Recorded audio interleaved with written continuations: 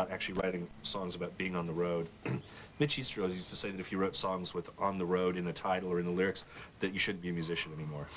you should just be. They should stop you from doing this. Just because every record I bought when I was 15, you know, those Deep Purple records, it's always about going to a town and meeting the groupie, and you're on the road. My idea of the record is that we're um, somehow grafting together live stuff that's recorded live with stuff that's recorded in the studio and you can't really tell what's what. It's like it's like a new, you know, it's a it's kind of like a new sound a little bit. Although I think I think it kind of sounds like early Mott the Hoople a little bit. I look good in the glass pack.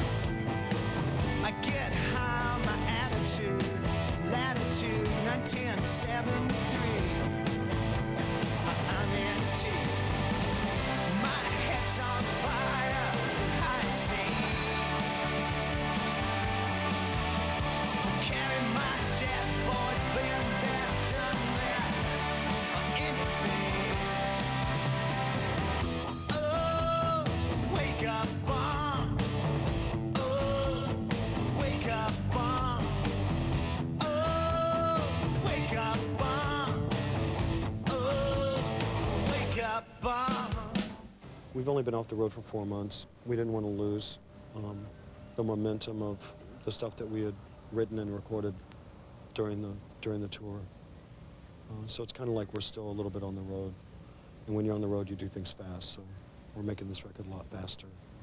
For us, going to sound check used to mean just, well, let's get this over with and then go have dinner.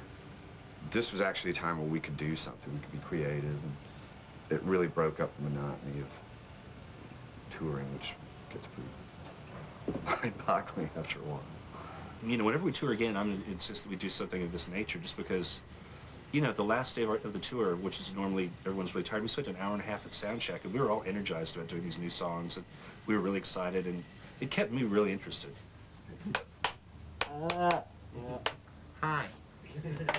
Regards to the like the last record, it's you know I think Monster was more of a um, it songs were built around sounds and built around a certain assault, you know, and this album I think is back more to some arrangements and and songs and not really built around a, a certain effect. Themes, themes to the record. I've been sort of looking for a theme and I haven't found one yet, and that's good. I don't want to find one. Um, you know, despair, hopelessness, death, all the usual jolly, you know, topics. Um, I don't know. I mean, it, it's really hard to tell because we're still kind of making it. It does. It does kind of seem uh, like a, You know, there's some fear and some despair, and um, some death, and there's some religious imagery that's going to be probably a lot more made of it than should be.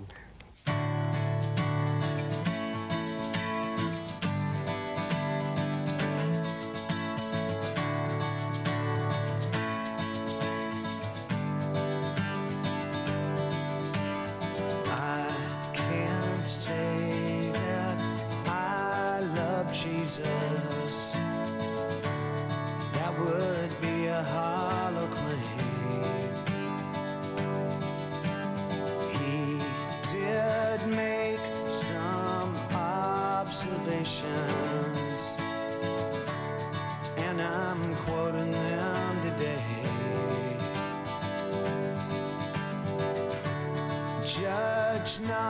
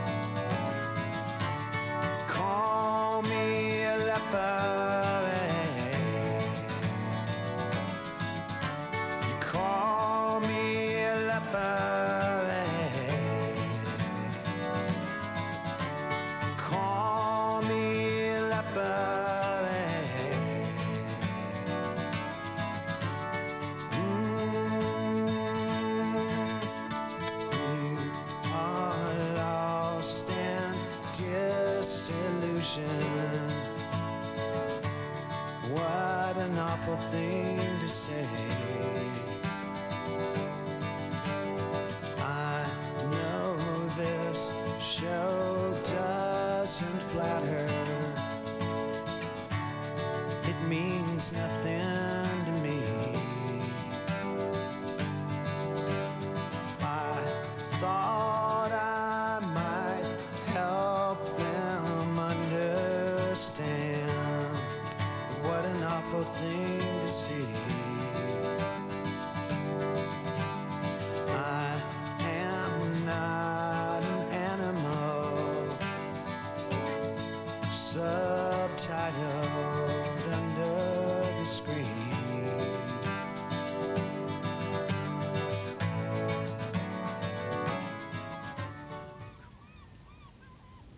A number of the journalists who heard some of the songs the other day um, heard New Test Leper twice.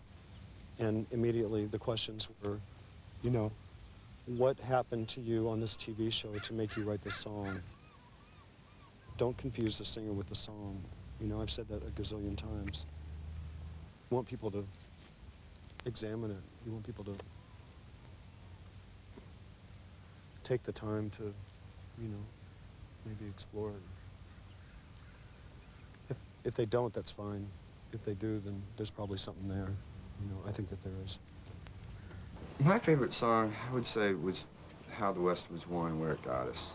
One day in Seattle, I was walking from the lounge area back to the control room. I was walking through the studio, and Mike was playing this little ditty on the piano. It was just a little dee-dee-dee-dee-dee. It sounded kind of silly, but he kept doing it. And I thought, you know, I'm just going to sit down and play the drums. I've got nothing better to do. Unbeknownst to us, the tape was rolling. So we came back into the control room. Michael was just like, he was going nuts. He was like, that's incredible, that's incredible. We have to work on that. So we kind of stopped what we were working on. And 24 hours later, that song was completely realized.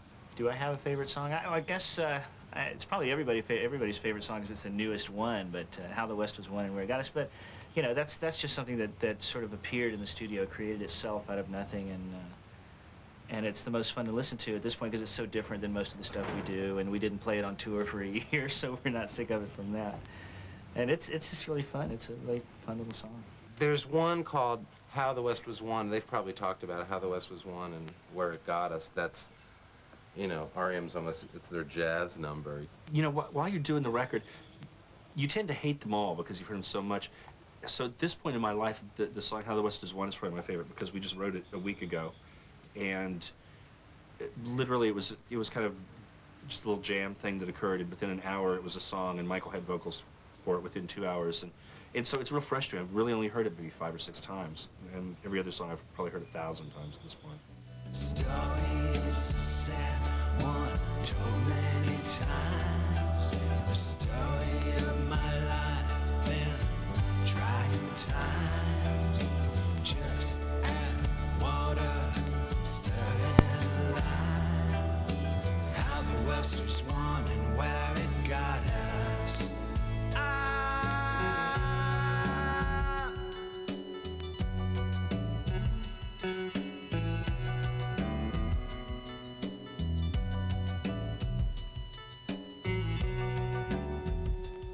See that plane right there?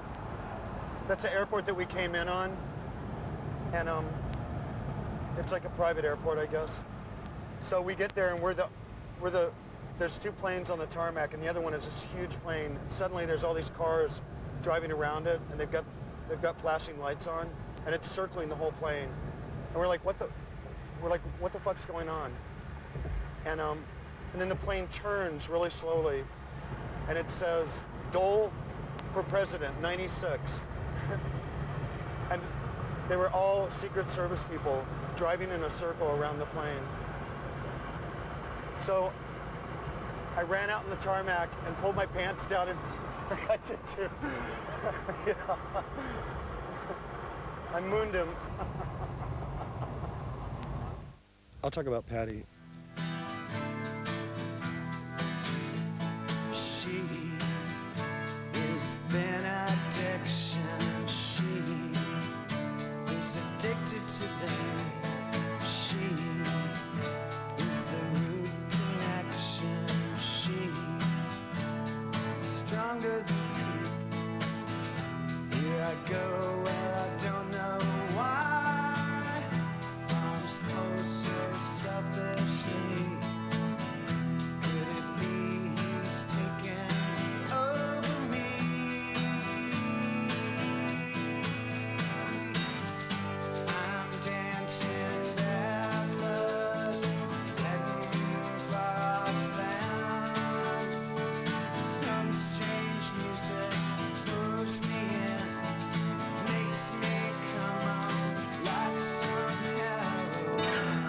Well, Patti is Patti is pretty amazing. She came in and uh, and took a really simple part and kept it simple and yet made it extremely emotional and powerful and you know really took the song to a completely new place.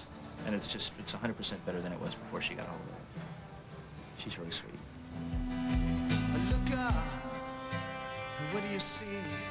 All of you all of me, first and starry. With some of them, they surprise.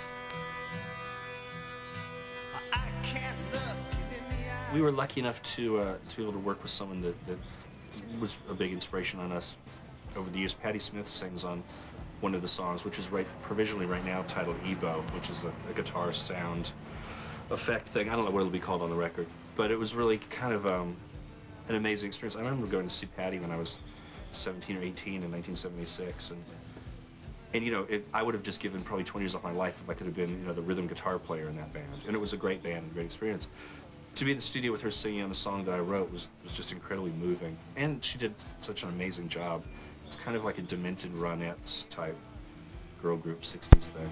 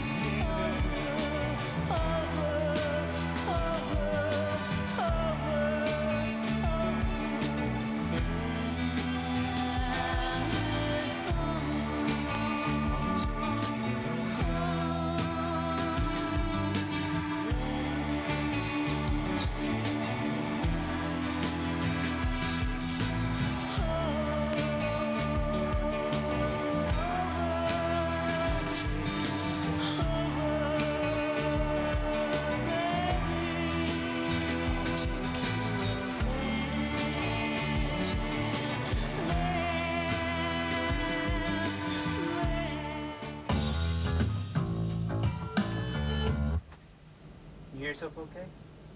I can hear myself. You need more? Or? Well, um, no, I think it sounds all right.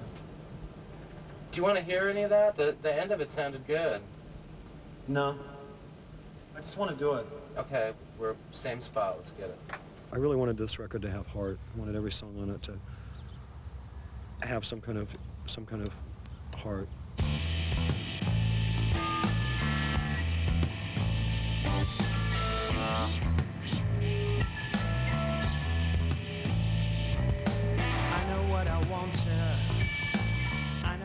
Made a movie um, the last week um, when we were in Atlanta.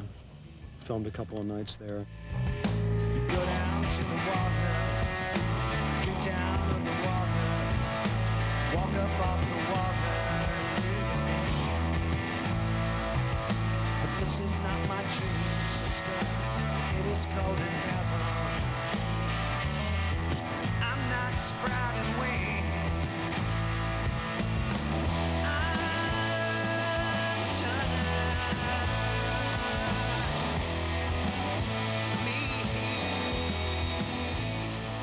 We just wanted to somehow document what happened, you know, a little bit, in a little way. And uh, it's turned out pretty, pretty great. I, I like it a lot. I can't believe I was doing that four months ago. You know? I mean, it, it seems like four years ago, a little bit. Photography? Yeah, I mean, I've said a bunch of times, you know, I, I started taking pictures when I was 15, and um, it was later that year that I kind of discovered punk rock, and photography has always been my, my, my first passion, and even with music, I think my contribution to the band and, and the band in general is pretty visual. Like, I just think, I've always thought that we're like, our songs are like little films, you know? A lot of people don't get the plot, but that's okay. that's okay.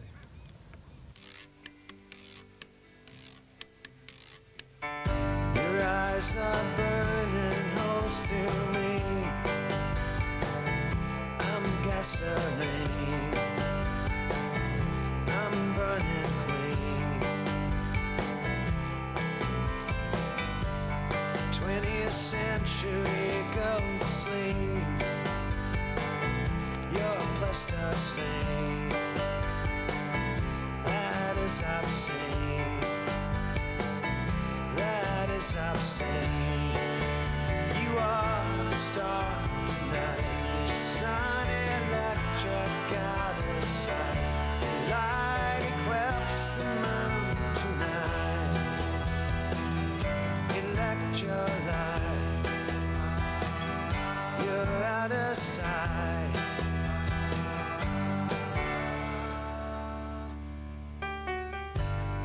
If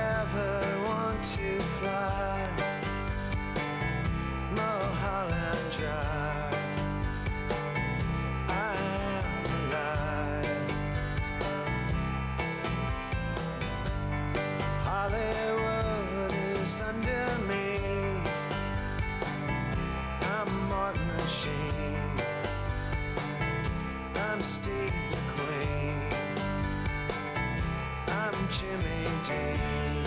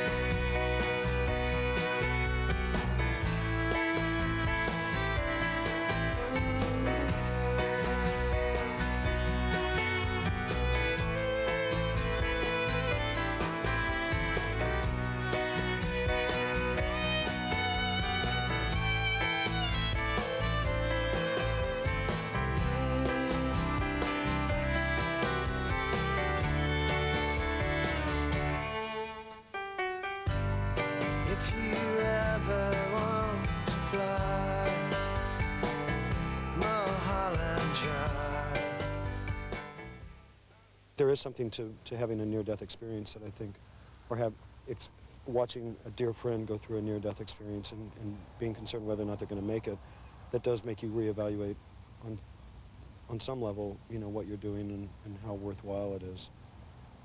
Um, Mike and mine was just, they were funny. By the time he and I went in the hospital, it was a joke. Bill's was, was dead serious, and uh, he came out of it, and he's fine, and, you know, we were very lucky. Walking off the stage after the first show after my surgery, that was that was a really nice hurdle to have cleared. I felt I was really, really happy and emotional. It was that was my tour highlight. and then I went to the hotel and went to sleep. If there is something thematic to this record, it's very similar to Murmur. When we were on the road in 1982 and 83, we were on the road for the first time, traveling from town to town and playing small clubs. And the themes that came out in those songs were, were of travel and movement and, and being unsettled and being away from home, whatever home, you know, is. And um, this record might be a little bit the same. I mean, the songs that I'm thinking of, uh, definitely the ones that we wrote on the road, do have a lot of a lot of a lot of movement, a lot of passage, a lot of feeling of of, of um, um, being distant. You know, whether it's whether it's actual geographic distance or, or otherwise. How do you change the um, How do you change the minutes? Maybe it's two. Ah, ah. All right. Oh, excellent. All right, what time is it?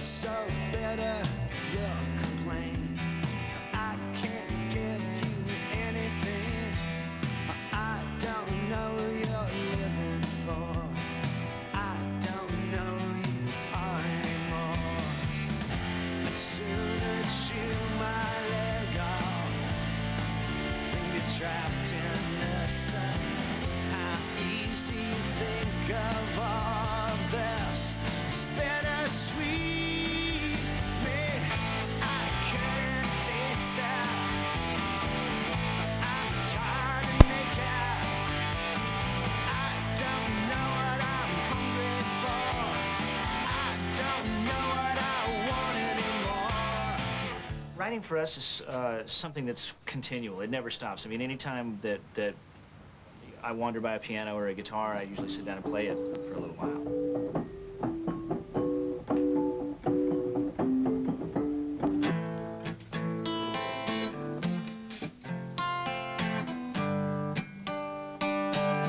Of all, all four of us in the band, I'm the one who's most likely to leave mistakes on the track. I, and generally what I do, the last, basically since about the, the turn of the decade, uh, six years ago, I just said, when we record the track, I'm never going to take off that guitar.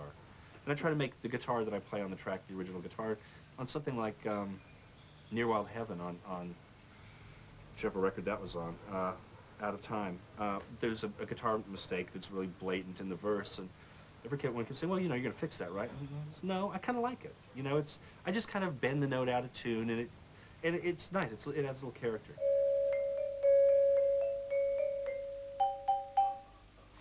Pretty cool, huh?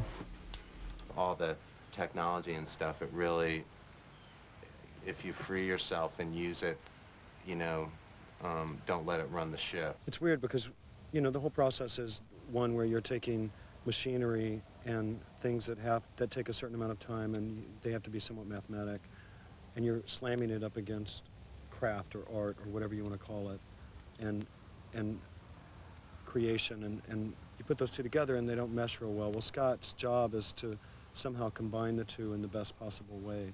I mean, the onus is on him to make sure that whatever's recorded is recorded as we want to hear it, as we want it to be heard, and the best way possible.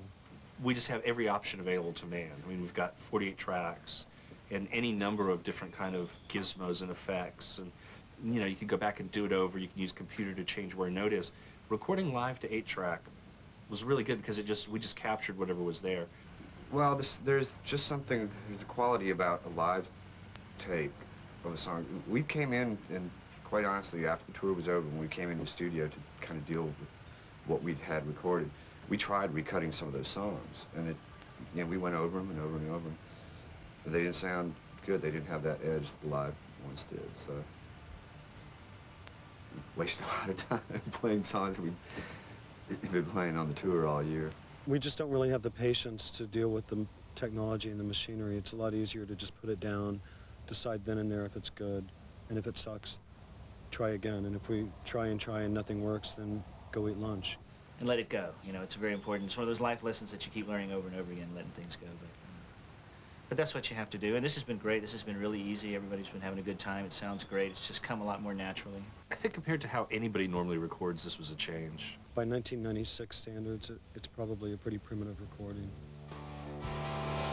All the ashtray cities freeway drives. Broken casino water slide. 18 wheeler payback.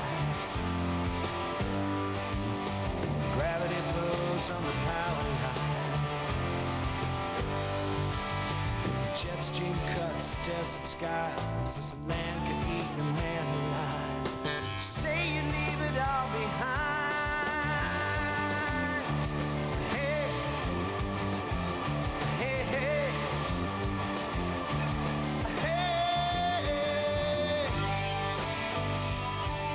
I, don't, I just don't think any of us really have the patience for, you know, sitting through the hours of, of, of technological stuff. Technological, is that a word? Yeah, it is. Does Does that make sense? Yeah, okay. It was, it was a nice hang in Seattle, I have to admit. The weather bites up there. Everybody knows that, except in the summertime.